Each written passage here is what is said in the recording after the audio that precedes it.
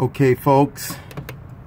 Um, after Dallas had his dinner, we put him outside to go potty.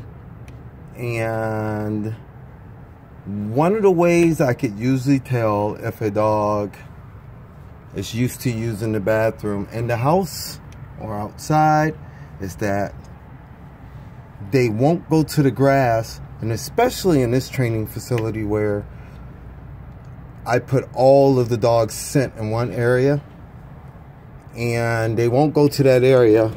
Instead see how he's trying to get back in. Instead what they'll do is they'll pee and poop.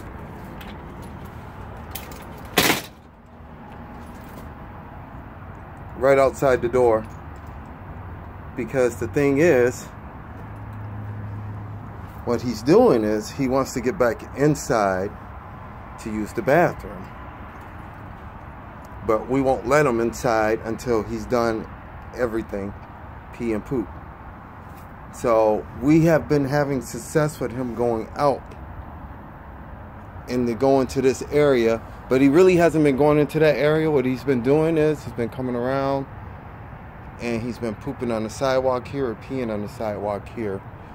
And then coming back around and back up to this porch. But if I don't, like in this instance, I didn't watch him. I just closed the door behind him and he came out and he pooped right there. And now he's sitting here waiting to go back in. And So I wanted to show that before set Dallas before um, I let him back in. So we're gonna sit Dallas. We're gonna continue with how he should properly enter the house. We've been working on this as well. Stay.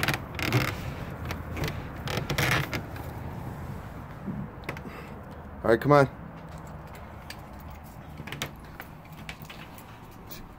He should go in his spot there. I'm going to have to tell him bad dog. I say bad dog. He knows what he's supposed to do. That's why when I said bad dog, he just did what he was supposed to do. So, no, bad dog. What did you do? All of those are negative terms. And to get the dog to get back into place again, you know. Once they learn these terms, they'll just go right into place. And so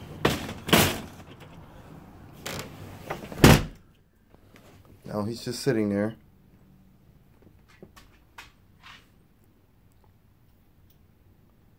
And he's waiting for me to release him.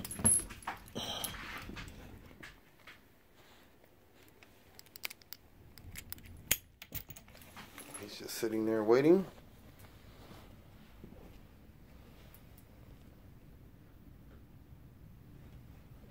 Pay attention. I also say that to get them to look at me.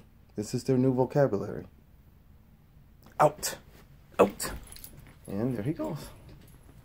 Off to hang out. Go and hang out with the rest of the dogs. Okay, folks, over and out.